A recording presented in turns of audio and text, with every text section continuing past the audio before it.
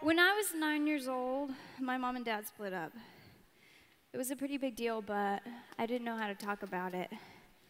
Some of my friends' parents were divorcing and they seemed to do okay with it, but I thought my world was being ripped apart. I carried my suitcase to school, to friends' houses, to church, everywhere I went, really. And for a couple years, nobody saw it.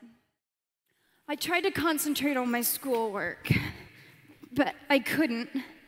I had so many bags. I had teachers who put a lot of pressure on me. I started obsessing about my weight and how heavy I felt. Every single day, I felt bigger than all the other girls around me.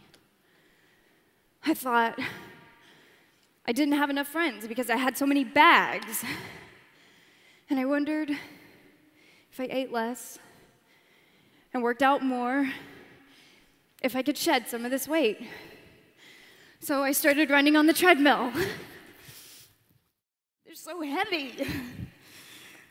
I've been carrying them for so long. Put them on him.